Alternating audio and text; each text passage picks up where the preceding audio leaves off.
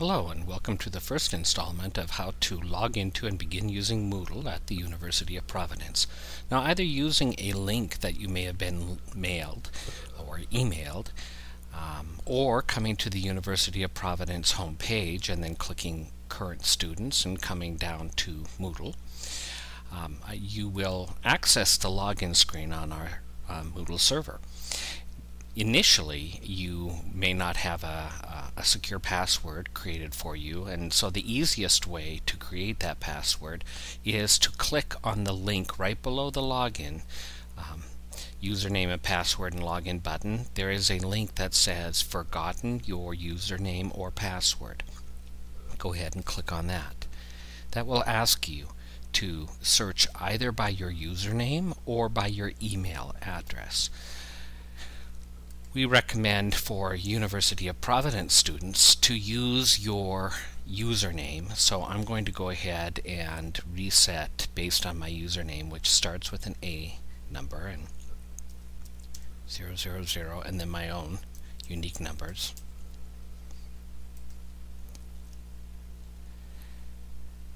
That will generate a password reset message to me and in order to access that I'll need to come to my University of Providence email address or the email address provided by the system. And I'll make sure that when I log in I'm going to access Outlook. And when I do that I will have an email reset message that will be addressed to me and in it it will have a link that says that I will have 30 minutes to click on that link to reset the password. And I will reset the password using the same 12 letter um, convention that I would need accessing my University of Providence email account. So I can I can use the same password or I can create a new password if I want it to be different, but it will need to be a total of 12 characters, at least one digit, one lowercase letter, one uppercase letter, and one non-alphabetic character, such as an asterisk, uh, a dash, uh, a hash mark, or perhaps an exclamation mark. So I'm going to go ahead and create my new password.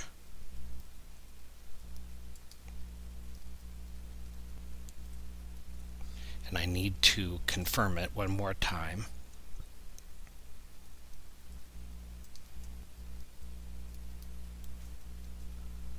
and save the changes.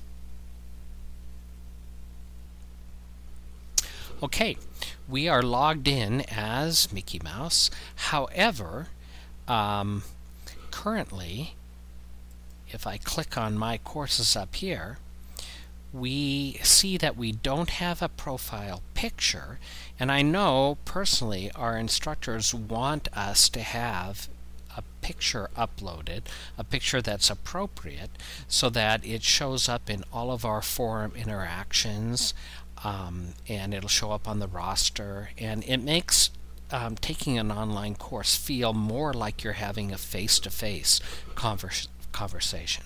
So the first thing that we're going to do is update our profile. So I'm going to click on Edit Profile. And what I want to do, I can't change the name or the last name because that actually is uh, fed by the data administrative database. It's controlled by Banner slash Argo Express. So if I need to change my name, I need to do it legally using a change of name form through the registrar's office. I can't do it here. Okay, I'm going to now update the city and the town um, because I am an online student, Mickey Mouse. Yeah, I'm not in Great Falls like um, the majority of other accounts may be. So I'm going to click on that and I'm going to change it to Anaheim because that's where I live. It that's where Disneyland is. Um, I'm also going to take the time to change the time zone. This is very important because any deadlines, like when a quiz opens or closes, those display according to the uh, the time zone for the user. So by default, all new accounts are fed at being America Denver. That's Mountain Time Zone. That's the Great Falls campus in Montana. I need to change that and I need to scroll on up because Moodle is used all over the world. We have locations all over the world that we have to find the nearest big city to our time zone. So I'm going to pick Los Angeles because Los Angeles is the major city on the west coast. That'll get me to Pacific time zone. So that is important because if a quiz closes at midnight in Montana, I can't assume that's midnight for me in California. That'll actually be 11 p.m. So I want those deadlines to display correctly, so I make sure I customize my time zone. Then I also see that I have an opportunity to upload a picture. Now, if I want any tips in Moodle, I find the little question mark and I click on it, and it tells me that to upload a picture to my profile, it likes JPEGs or PNGs, pings. Then um, it also prefers if it's cropped um, 100 by 100 pixels.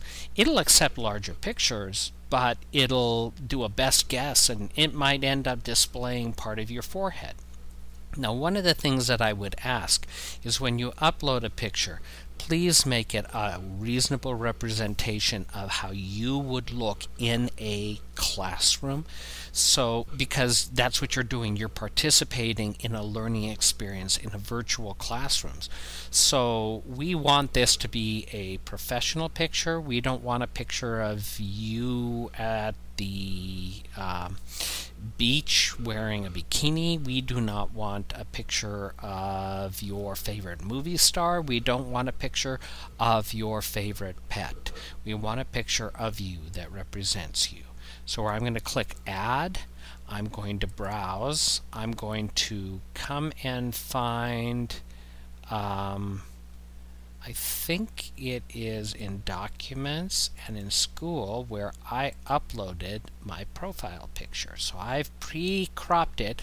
I used a photo editing um, software and I'm going to upload that picture. This indicates that it's spinning, it's sending the bits through the internet to the Moodle server in a secured hosting facility in Virginia and as soon as it's made it all the way through the internet and it has been scanned for viruses, then we can click Update Profile. And there is my photo. I have updated where I live. I have updated my time zone. I'm ready to get started in my classes, which is the next episode.